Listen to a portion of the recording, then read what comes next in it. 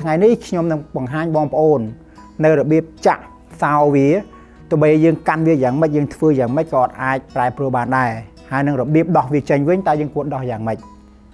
នៅពេលដែលបងប្អូនចាប់ដើមដំណើរការ system បងប្អូនចាប់ដើមលេងចាប់ដើមប្រគំស្រាប់តែមានបញ្ហាតើយើងគួរធ្វើយ៉ាងម៉េចបាទធ្វើក៏អត់បានដែរយើងចង់មូតក៏មូតអត់បាន បាទយើងចង់សេរីវាយើងចង់បន្ថែមបន្ថែមឬក៏យើងធ្វើបន្តិចបន្តួចដើម្បីឲ្យសងកាន់តែល្អធ្វើអត់បានទេព្រោះយើងចាក់សោរួចហើយអញ្ចឹងបងប្អូនត្រូវធ្វើការសម្រេចចិត្តឲ្យបានច្បាស់មុននឹងចាប់ផ្ដើមចាក់សោឬក៏អត់ចាក់សោតើហេតុអីយើងត្រូវចាក់សោតើហេតុអីយើងត្រូវអត់ចាក់សោ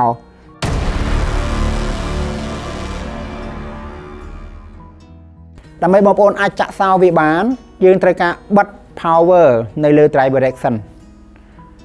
ក្រោយមកយើងចាប់ផ្ដើមចុច ទៅលើប៊ីតុងមួយ ដែលមានអក្សរថា RTA ហើយយើងបូកជាមួយនឹងប៊ីតុង power on យើងចុចទៅលើវាហើយលើប៊ីតុង RTA ហើយហើយយើងចាប់ផ្ដើមចុចកុងតាក់ power on ហើយយើងសង្កត់នៅលើប៊ីតុង RTA នេះដដែល រហូតតតែវា load នៅលើ screen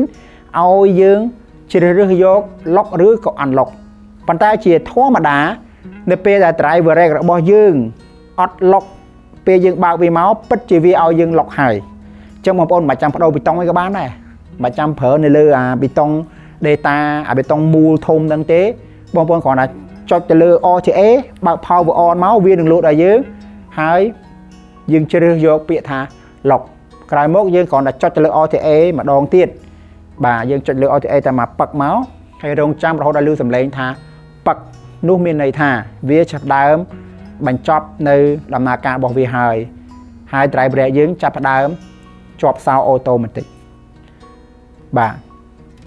អញ្ចឹងខ្ញុំធ្វើឲ្យមើលមួយសារទៀតបាទ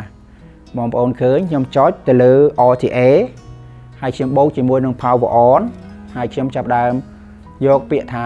lock នៅក្នុងអេក្រង់របស់វាហើយខ្ញុំចុចទៅលើប៊ីតុង RTA បាទនោះជាការស្រេច